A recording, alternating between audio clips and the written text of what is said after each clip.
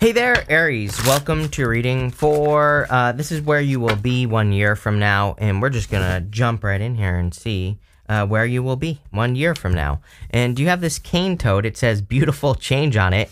And you have this Ten of Pentacles. Are you kidding me? So uh, it looks good to me. Your money is clearly going to be feeling a lot better about one year from now. And, um, you know, I think all your readings have basically been talking about this. This reading is meant to be timeless, so it doesn't matter when you're watching it, but it is interesting if you're watching this in 2023. Uh, obviously, next year in 2024, uh, Jupiter will officially be in your second house, which is, uh, you know, should be pretty good for you here, Aries. So, and, and that definitely shows up here with the beautiful change card.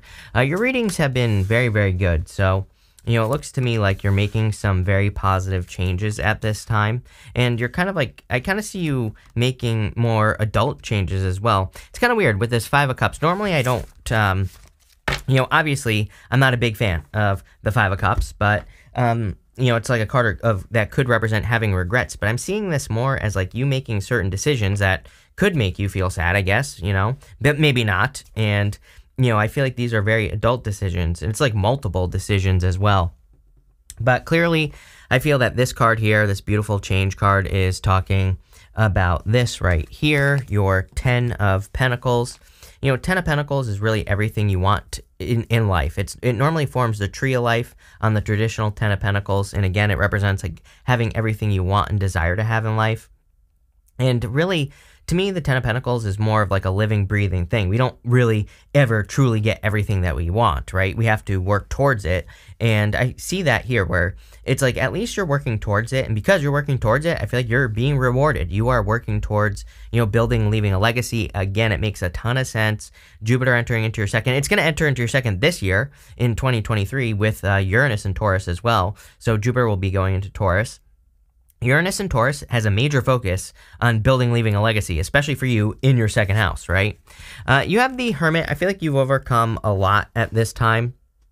I feel like you've been overcoming a lot of challenges, difficulties, everything, and it's like now you have transformed. I feel like you're you're getting very close to having a breakthrough here as well. That's weird.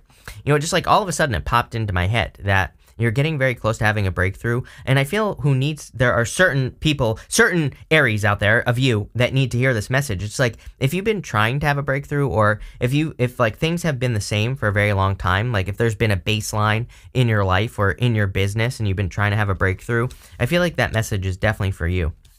You have the Eight of Swords here. I do feel that a lot of you could be setting yourself free from situations.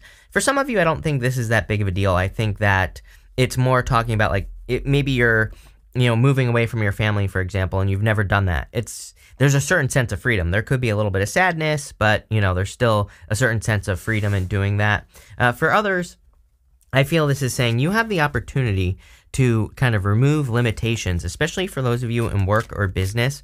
I see like generational change here again because that 10 of Pentacles can represent kind of like generational energy. And so for some of you, it's like maybe you're the first person in your family to become successful, or maybe you're the first person in your family to like do something that no one else in your family has ever done. Um, you're going to have to like overcome the mindset, right? Maybe you have a certain, maybe you were raised that money is evil, or maybe you were raised that uh, everyone cheats in love, whatever, you know, it's different for all of us. We all have these limiting beliefs, I'm sure, right? Nobody's perfect. But I would say that if you can face those things, it looks to me like you're finding a lot of success here. I mean, you have some really good cards. uh, with the Ten of Pentacles, you have the Ten of Cups. Are you kidding? Uh, literally one of my favorite com combinations Ten of Cups, Ten of Pentacles. Uh, Ten of Cups is fortune after difficulty. Definitely could be meeting a person that you're having a family with as well, is what I would say. I feel like this person, if by the way, if you're looking for love, uh, gender doesn't matter, but I do feel that it could be a King of Swords type person. Someone very straightforward, honest. I think that's probably the first thing that will stand out to you. Could be someone who's older than you as well. And uh, what I would say is that they're, I would say if they're not, they might not be older than you. They might just be very mature, Um, you know, they might have a very like um, you know, very specific vision for life, and it, it looks very mature to me. Could be an air sign. I mean, it could be any sign. You have basically everything here, but I feel like this person is very straightforward. I literally feel they'll just tell you exactly what they want, like maybe even on the first date, like exactly what they're looking for. I get this very like a very cut and dry type of attitude here in a good way. I mean, I think they're like just super straightforward. They and, and that's just it, right? With the Hermit, you have the Three of Wands. Three of Wands says, "What are you waiting for?" It's like I feel like there are a lot of things that you desire to do in your life, and this card is like saying, does it really matter if you like wait or should you just do it right now? It kind of reminds me like one of my favorite books of all time is The War of Art.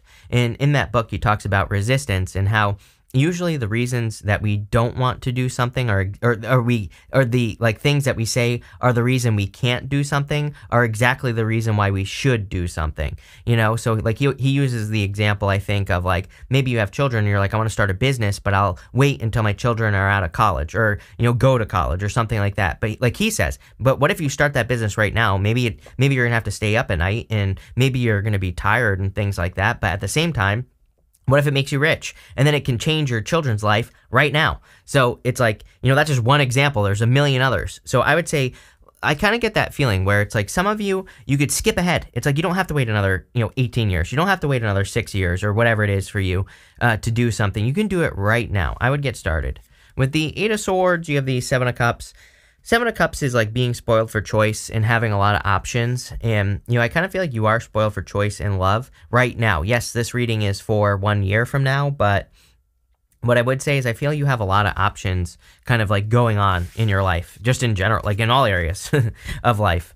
Uh, next, you have this higher view card in your next row. Uh, you also have the hangman. The hangman can represent a change in perspective. The higher view, obviously, you're getting a bird's eye view of things that are going on in your life. This makes a lot of sense to me. We have uh, Pluto going into Aquarius. I talk about this all the time, and people keep saying, like, why do you talk about Pluto and Aquarius so much? I'm like, uh, because next time you'll be dead. The next time Pluto comes back to Aquarius. The next time that um, you know, we have the exact astrological setup that we have right now, you will definitely be dead. So it's like we will never experience anything like this. And it is like a significant change. It, it's, you know, I, I, think people don't understand. Like, put on Aquarius, by the time we get to end, I'm telling you all, and no, no cap, no clickbait, right?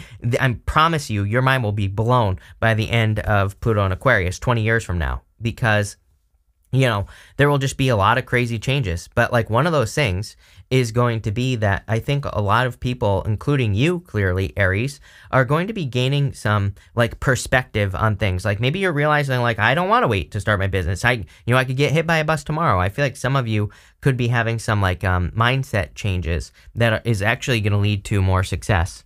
You have the Hangman, the King of Swords, and the Fool. For whatever reason, I feel like this is uh, love coming into your life here. I feel like it'll make you extremely happy. This person's like very serious, uh, I feel. So I feel like you could be attracting a serious person. But the good news is you have the sun right here where there's two people on this sun card in the after tarot. So I feel like they might be serious, but I feel like they're very playful as well. It's like they're not too serious. And look, I love this two of wands as well. It's like two people who are kind of like conquering the world. So if you're attracting a person definitely could be a good person for you. I also do feel that this could be um it's kind of weird because it's like I see a statue in my head. It's almost like you're looking up to something here. I'm getting like a couple of things here. Number one, you could be like discovering some information from like a mentor or, you know, it could be like a book that you read or something like that. And it's almost like you find a like a person who you look up to. And I feel like they provide a lot of answers in your life. I don't know why it's popping into my head like this, but it could be like a book. It could be, it could be anything. It could just be like a famous person or whatever. But it's like you're just discovering them, which is weird. Um, but that's what's popping into my head. Um, so again, you could be discovering like a new person to follow who kind of just you resonate with, which again, it could be like one of those life changing, um, you know, things. There are tons of people that changed my life completely that are dead. So it could even be a dead person, but right, you never know. You might read a book and it changes your life, or you discover a new person and it changes your life. I feel that for some of you. For others, I literally feel it's a person who's coming into your life, but it could be like a business partner. Um, you know, it kind of has a businessy type of feel to me, where you could be kind of like teaming up with a person. I feel like they provide a lot of insight, a lot of answers, and it's almost like they help you kind of like skip ahead. I hope that makes sense. You have the Fool here, definitely a new beginning for a lot of you. Uh, if you are attracting love, this person's like a like completely different. You know, it's like I see this right here. Fool, uh, two wands to the temperance card. This person brings peace into your life, is kind of what I feel. I feel like this person is just way different than anything else. You know, temperance can represent being patient. So I feel like you've been patient to find a person like this, like this here. Um, but you know, it's like you you know he normally the temperance guy is mixing those cups together. It's like you've had to wait a long time, or it's been a long time for you to you know find this situation. You also have the hangman here, and again, I really just feel this is talking about perspective, um, like the perspective that you're gaining um, by looking at things from like a bird's eye view. I also feel this King of Swords person could be uh, providing you with a perspective. It's like I, I, don't really have any good examples, but it's like there are some people who have like where they've said things to me, or I've seen YouTube videos where they said things where I'm like, holy crap, like wow, that was a that was a mind blower, right?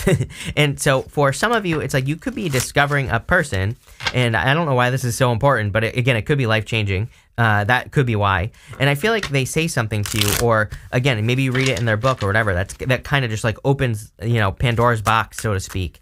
And um, it's really important. I would pay attention for this. If there are any areas of your life that you want to improve as well, I would start looking for books to read on the topic or YouTube videos to watch on the topic, whatever. Right? It, like like I always tell people don't wait for these things to happen. You know, tarot is just energy that you have to take advantage of. Nothing is going to happen if you don't put in the work. So, you know, I'd say start looking, right? With the Hangman, you have the Ace of Cups. Clearly, there's love coming in for you. Could be a Pisces or a Virgo. You have Pisces and Virgo. I this happens to me a lot where opposite signs will show up in a reading, and so it doesn't surprise me. It could also be a Leo or an Aquarius as well. I'm getting here in this reading. So take it how it resonates, but definitely could be true love coming in for you.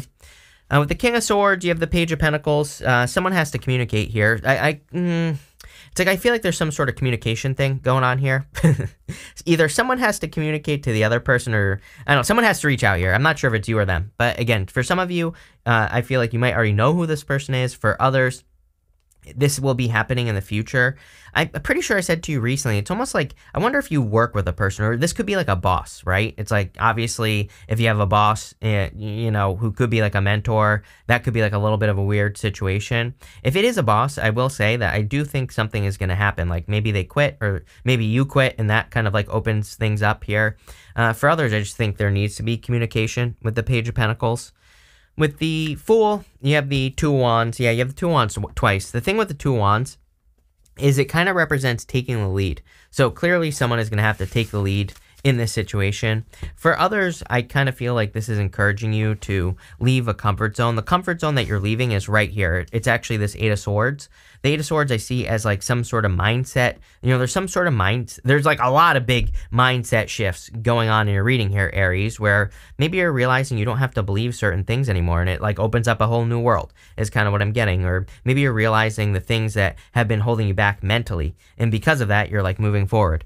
Uh, next, you have this turtle spirit. It says slow and steady wins the race. I hate that. So I do not like slow and steady wins the race. But what I would say is I feel like you've been very patient. And the other good thing here is is that I feel like you are at the finish line. It's not like you um you know, it's not like you're waiting here. I feel like this is saying that this is where you currently are. You have the page of wands, you went on the adventure. You have the two wands and the sun. The sun obviously could represent some sort of big reward or something very happy entering into your life. I see just so much happiness like one year from now. It's not even like you're waiting. I think you're to, it's like these things. I always like to remind people, it's like, yeah, this reading is meant to be one year from now. Um, but really, it's like this is energy builds. It's like you're building this up over the year. So there's like a lot of happiness and joy coming in for you with the sun card. You do have the two wands. Again, I literally feel if there's a person coming in for you that the two of you will be probably like conquering the world or you're doing something together in the world or the two of you together complement each other like in the world and it has some sort of benefit. I would encourage you to leave a comfort zone here. Um, two wands is my card of needing to leave a comfort zone. Normally on a traditional two wands, his village is right here in the bottom corner.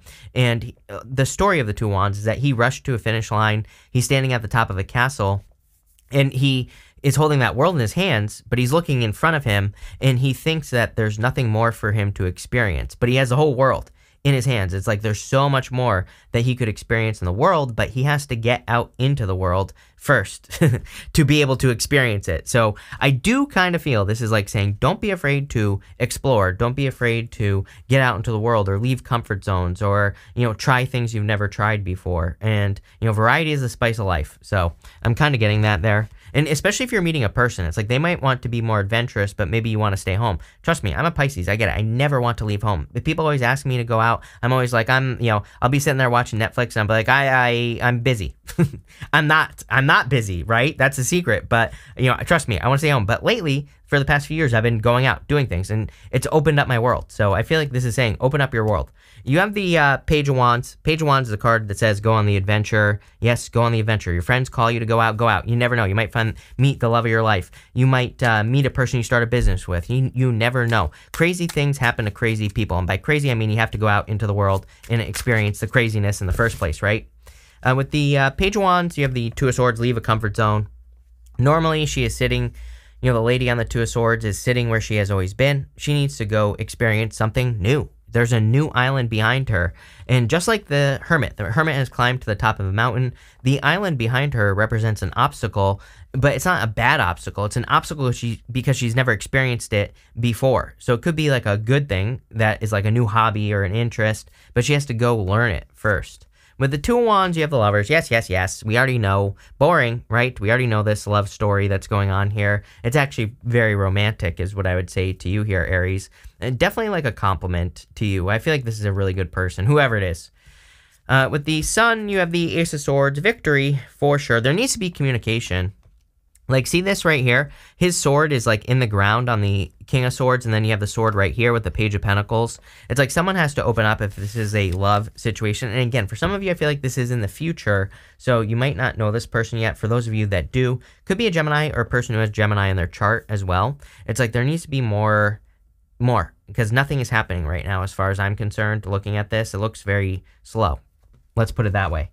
Uh, next, you have this Be Proud of Yourself card. So, again, more about perspective, right? You have that higher view card and the Hangman, all about perspective. Sometimes, especially right now, I feel like maybe you feel that you're not accomplishing enough, or maybe you feel that you're not where you should be in life or whatever. Number one, don't beat yourself up. Number two, I, I think if you kind of look back like 10 years, your life is significantly better, right? So sometimes I think that just being proud of yourself and saying, like, actually, I have done a lot. I am doing a lot right now. And kind of like patting yourself on the back for the little things, then, you know, I think you'll maybe motivate yourself more and find more success. But I also feel there's going to be a lot for you to be proud of in the future you have this temperance card, and again, what like kind of like the eh, situations that you have to um, that you're getting into. I think there's no like having to make things right. I don't know; those those aren't even the right words that I'm getting right now. Um, but what I would say is I get this feeling like, you know, sometimes I think we get into relationships and we start doing things to kind of like please the other person without them even asking. But but as in like we try to you know, transform ourselves to be what we think that person would like because we don't want them to leave us.